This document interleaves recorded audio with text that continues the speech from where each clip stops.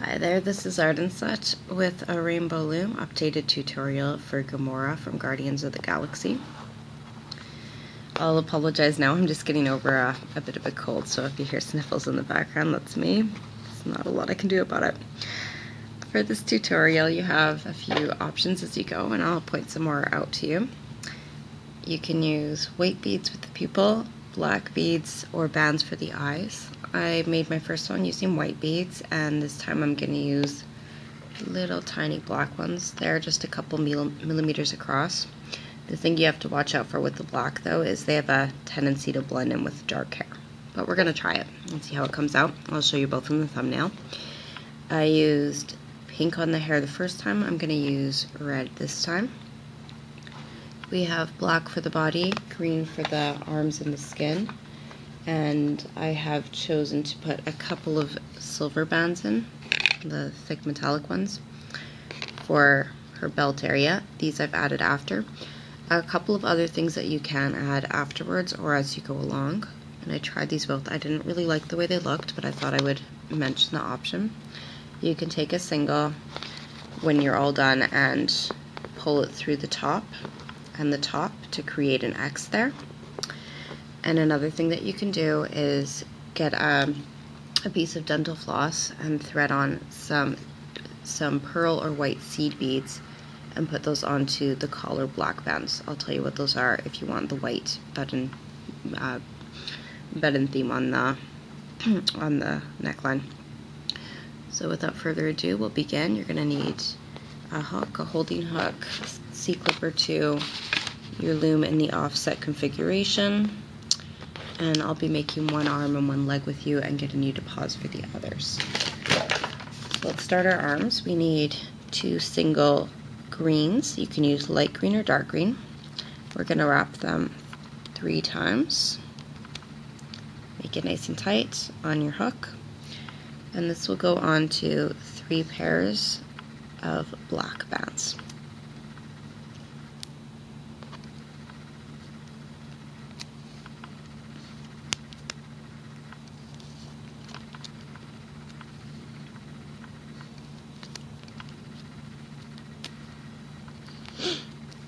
Let's switch to green or your skin tone again. And we're taking five sets of double bands or five pairs and pulling them on here.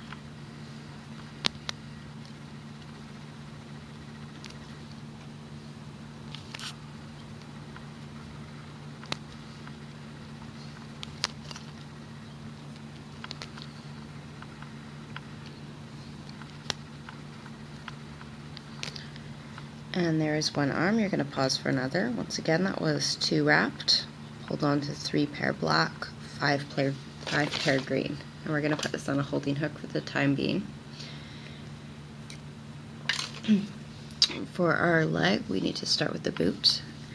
And, you know, if you don't like the way this looks or you don't want to get crazy, what you can do is just start with um, a wrapped two and pull it onto two extra pairs here and then continue continue up or you can add a little bulb here by putting a doubled over band on your hook when you're sliding it through the top. To make your boot like this, what we need to do is take two black bands, wrap them two or three times on your hook. You could decide how tight you'd like it. I'm doing it the full three wraps. This gets pulled onto two bands and before you put the other end on you're going to take your left hand keep some tension here and pinch your bands where you, they sit on the hook. With your right hand or your dominant hand take two more bands wrap them on the inside. I'm doing it three times again.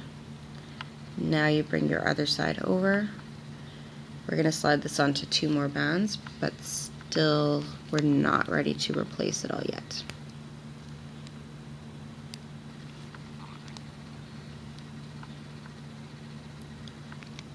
This on the inside. I'm just going to shift this around so that my little bulb of bands is in the middle.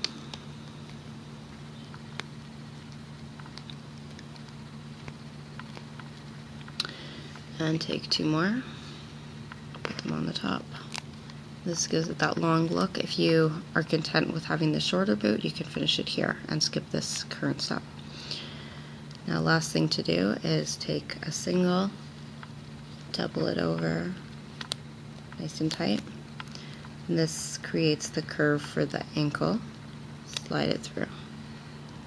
And we really want to try and get everything kind of centered here. Alright, from here it's pretty easy. We need three sets of double block bands. So two bands together, put them on your hook, slide, and try and keep these as straight as you can because the legs like to be a little bendy wobbly. You could even do this part on the loom if you want to make sure they're extra extra straight. Okay, so we have our legs and our arms put these on the side and we can get on to, get going on the loom.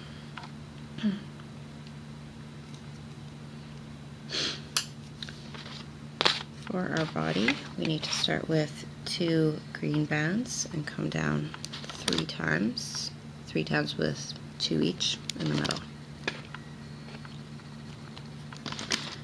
Now take two blocks and go from your second in the center to your second on the right and from the second center to the second left.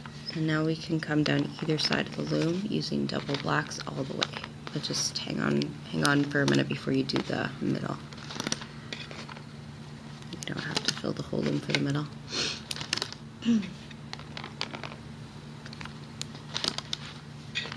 I have to say these things because if you're a, a loomer like me, you like to jump ahead and that usually leads to undoing and backing up.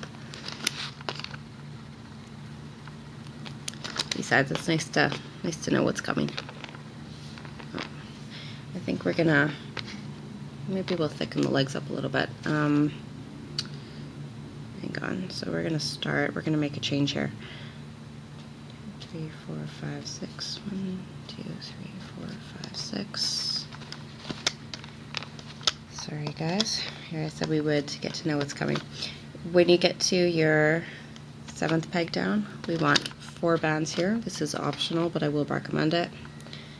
And one set of three, one set of three, two more sets of three. This will give the legs just a little bit of a thicker look, I think. And a fourth set of three, and then two. So we used doubles until we reached the seventh peg down, and then we had four bands, three, three, three, three, two. Let's do this for the other sides. And sorry again, I made you back up there after all. Let's come down three times, four times, five times, and then we're going to use our four bands together, three bands together, three more groups of three, and the very last side is going to be just two.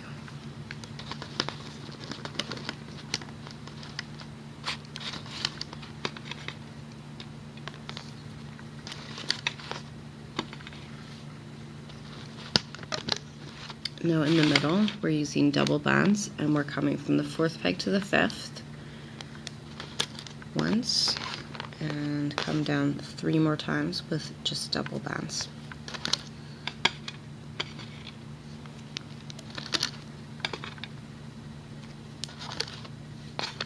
Take two bands and come from, this is the eighth peg in the middle, the last peg that you've placed black bands on. Come up diagonally to the side, that puts you on your seventh side peg. And repeat for the left side get a capping band and we're going to loop it on that eighth peg in the middle as tightly as you comfortably can. so there's a cap right here. We can, I think we're gonna, yeah, we can add our arms now. We're gonna put those on the second pegs down on either side and we can add our legs on the bottom. Try and get your feet to point the way you want them to now. So it's a bit harder to adjust them afterwards.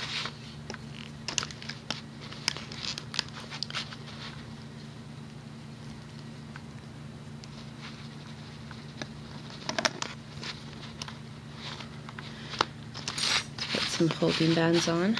We want a single block uh, stretched from the third peg to the third peg and raised above the third peg in the center. And our next three are going to be doubled over singles. So we want really tight triangle bands forming below there.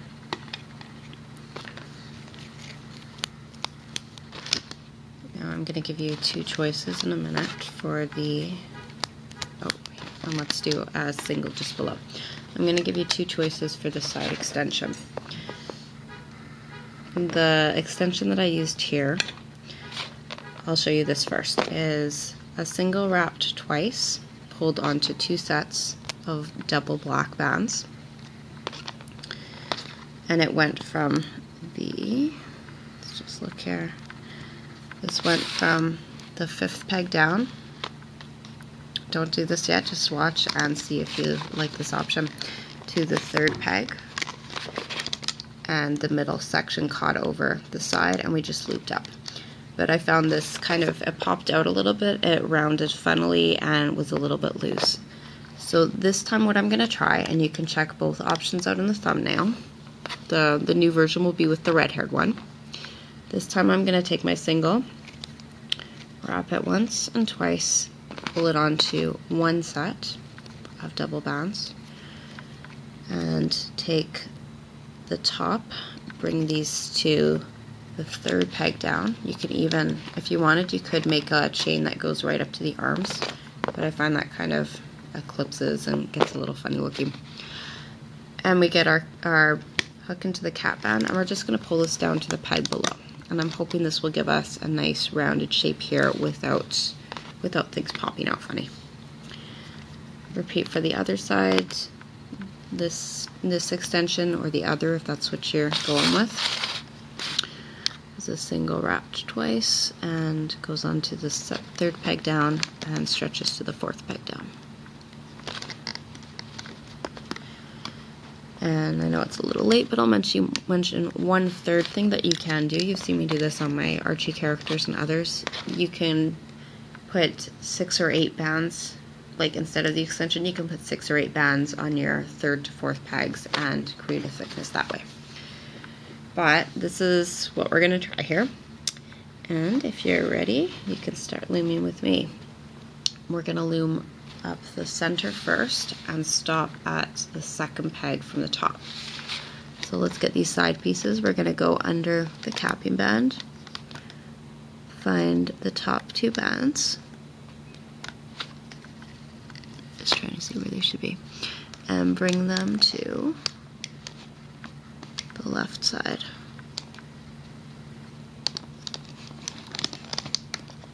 So we lifted them out from under that that tight band. Go back inside and get your next two and bring them to the right. And now we can loop upwards and just stop when you get to the, the second one from the top Should be pretty smooth sailing here. You can see I'm holding my loom down so so that nothing's slipping around or coming loose or popping.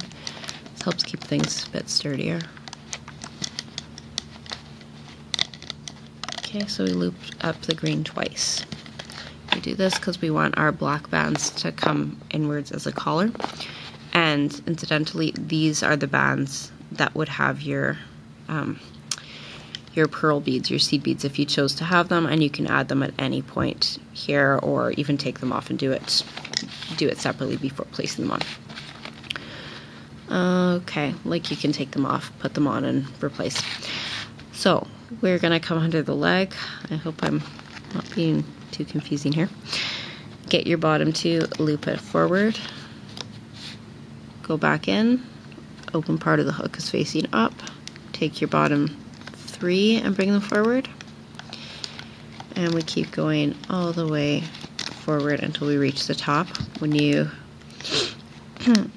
get to this waist section, you have a lot of bands. You're going to press all of them back and just catch the bottom two. You can turn your loom to another angle if that helps you. Push back your holding bands, push back that triangle band, get inside, go forward. And here we have our extension. We're doing just the same thing. You push everything back and take only the bottom two each time.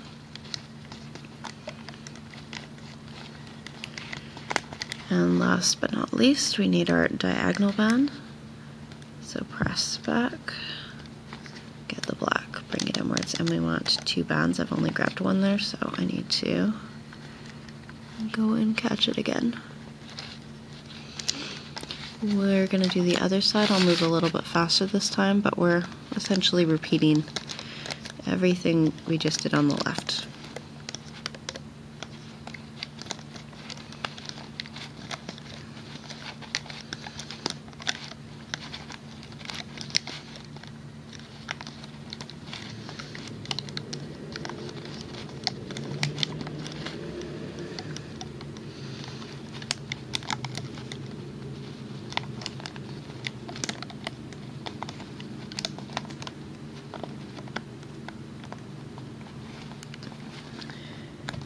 And once you've looped your right side in, you can go back under that second peg and retrieve your last two bands, bring them upwards. And these are going to go on your hook, and the rest is going to be eased off of the loom.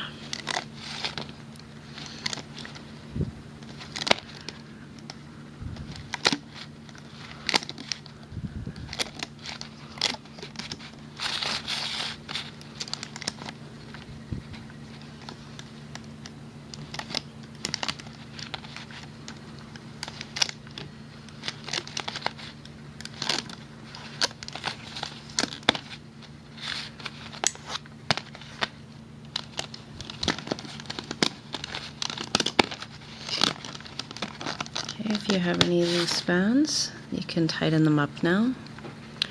If you're happy with the way that it looks, then that's great. We're all ready for the next step. Um, maybe we'll put our silver belt in now. Okay, so if you would like the little silver bands here, all we're going to do is quite literally weave them in. And let me switch my hooks here so I can have my my nimble little, what is this, two, number two. So, if you want your silver, you come in the side so that your hook is coming out at the front where you want your belt to sit. Take a hold of that silver band, slide it to the back, and put your hook through again just a little bit to the side. Latch your band on again. I'm trying to do this without twisting it and try and create a little bit of tension so it doesn't pop off when you slide it to the back. You can make it as loose or as tight as you want. You can angle it. You can, well, whatever, the sky's the limit. I'm going to put the other one on, other side, pop it through from the back, and I'm trying to get it somewhat symmetrical to the other side. Slide it back through. You can put these on a C-clip at any time. Um, or, you know, whatever you want to do, you can just weave it in. You can tie it in a knot. And I'm finding my legs are popping a little further than I'd like. So two things that you can do. One, you can wrap a band around it and leave it overnight. That will sort of fit it into shape. Like I said, I'm not really happy with the way this is looking. So what I'm going to do is take my hook through a couple of sections in the back, take a black band, and I'm going to pinch it together using a black band.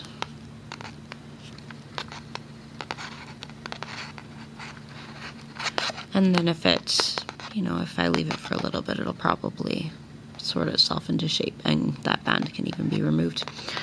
Let's put this onto a C-clip. And remember, you don't have to have the silver pieces at all. If you're really struggling with them, you can always leave them out. If you want, you can just take a silver or a gray and wrap it right around the waist. You've got lots of choices here. Okay, so our head is ready. Uh, sorry, our body is ready. We just need our head now. And And we'll make our hair chains last. We're going to start with the outline for the head, which is two blocks from the top center to the top right, two from the top center to the top left, two black bands on each row,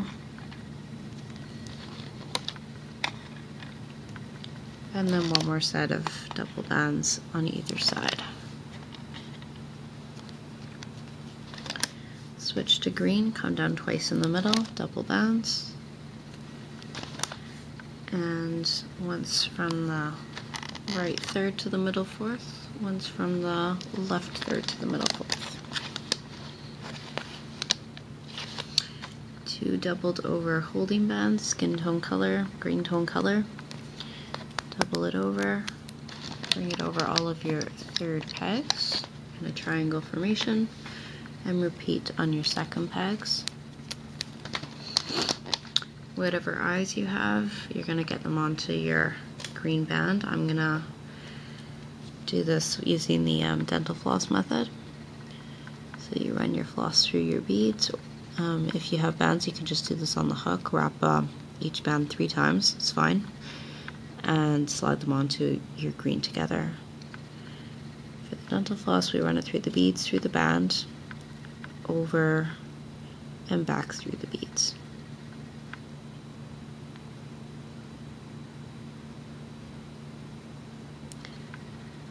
This works well with um, a thin wire or a needle and thread as well. This is what you would do if you wanted to had wanted to put the seed beads onto your collar but there, I'm sure there are other methods and whatever is working for you is great. Your eyes go across the second pegs. We separate them just a little bit. We try to separate them a little bit. I'm gonna put my hook in between.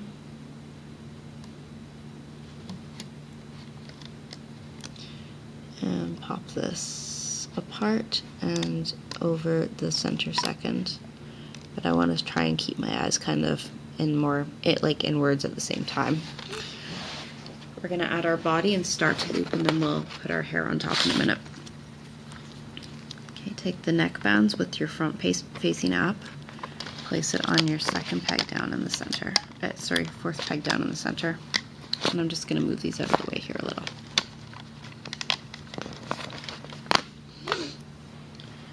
get your hook and we're going to loop once up to the side. Take the top two, bring them left, press it down a little.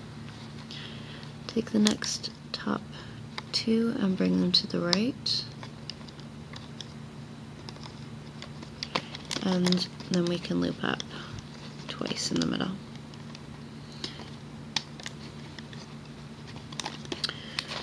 For your hair chains, Okay, where I'm using single bands, doing single chains. I did one black and five pinks here, but it comes out really, really long, and we don't really have to have it that long. If you want your color to start right at the temple, right by the eye, then you don't have to add the black at the top. Uh, I'm still going to do this. I don't really want the, the hair to start right at the face. And I have made four chains for my initial pattern, that's what I'm going to do again. So you start with the color that you're going to have for your bright lower. We take a single, wrap it twice, pull it onto as many singles as you'd like. I'm going to do three this time. Initially, I, I did do five.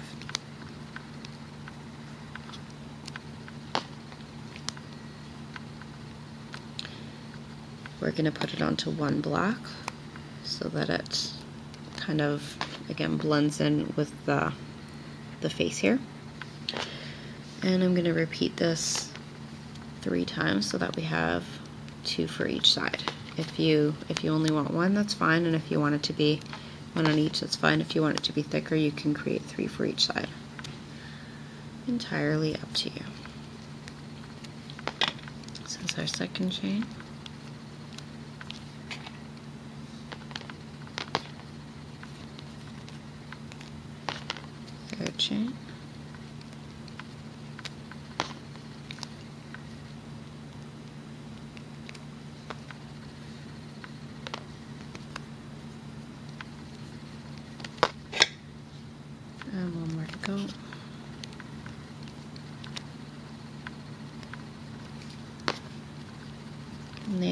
Yes, they are going to be kind of straggly right now. We're going to secure them a little bit better once everything's looped on and we can make it so that it holds a bit straighter. And of course now, I'm going to make another note now that we're almost done this section. If you want your hair to be really, really thick and sturdy, you can do two bands. You can always double band instead of using the singles. Maybe I'll, if I remember, I'll try and put an annotation in a little earlier. Okay, we put two on the left third and two on the right third. And we're just gonna loop straight up to the to the top now, going for our bottom bands only. That's on either side. So keep these down, go inside, get your bottom two blocks, bring them up, next two, bring them up, check that I've got the right bands here everywhere and come in, uh, we'll loop up once more in the middle. Actually, it doesn't really matter. Um, we'll loop up from the side first. Okay, watch that these hair pieces don't pop off when we loop up the other side, staying inside the eye bands and the holding bands, loop into the center, loop up the center one more time, and you can use one or two bands to slide through all of the bands of the top center peg. So push your hook through, open part is facing away from you, catch your band and slide it up. Other end on and you're going to pull one side over the other to create a slip knot. Let's take this off of the loom. I think we're about done. I'll just show you how to cinch in the hair. Good, my video time is almost out. Okay, press your eyes through to where you can see them. Make sure you're looking at your front side, and you can tell because that's where your black is overlapping the neck. Hide your securing band in the back. We'll slide it under a couple of other bands, and it can go in a C-clip. And as for your hair, decide where you want them to sit. I'm going to put mine at the back and we're going to take our hook, put it through a piece out of the end of each chain on one side. This is the back you're looking at. Slide it through the body where you want it to sit. And take a hair colored band or a black band if you'd like, depending where it's sitting. Slide it through all of those. Create a slip knot and there's your hair and I'm just going to cinch it up on the other side. So through the body, one through the body, just has to go under one band really here, and through the hair, right at the end of the chain. I know this is a little upside down. You can C-clip this side um, right now if you want. I'm just doing this for convenience's sake as I show you. Okay, you've slid uh, another band through, created a slip knot, and we're going to put these all into a C-clip. Or you can weave them in a little bit better so that the red isn't showing so much. Alright, so there, straighten the legs a little bit if we can. Your two versions of Gamora from Guardians of the Galaxy. I think I've got the rest of the setup, but you might have to dig back in my archives a little bit. I'll try and put some links in the description any rate, thank you for watching.